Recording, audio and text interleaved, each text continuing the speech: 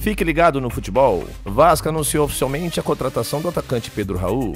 Presidente da Federação Portuguesa de Futebol está disposto a esperar José Mourinho até o final da temporada. O Bayern de Munique está interessado no goleiro Yassine Bounou, destaque do Marrocos na Copa. Ele chegaria para substituir Neuer, que se machucou esquiando e vai perder o restante da temporada. O arqueiro tem o aval de Oliver Kahn. Paris Saint-Germain pretende investir pesado na contratação do atacante Vitor Roque, com uma das grandes promessas do futebol mundial. Leila diz que CBF não procurou Abel Ferreira e quer segurar técnico do Palmeiras até o fim do mandato. Vendido ao Manchester City pelo Grêmio por 30 milhões, Diego Rosa vai reforçar o Bahia. Martim Ojeda volta a negociar com o Botafogo. Negociações continuam difíceis, mas Luiz Castro, que é o jogador entre os seis que já havia pedido.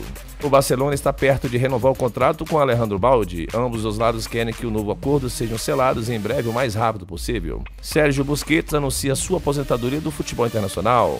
Meia-campista espanhol também decidirá seu futuro no clube entre Barcelona, Inter e Miami nos próximos meses. Papo Gomes pode deixar o Sevilha já em janeiro. Há clubes interessados em diferentes ligas, incluindo a MLS.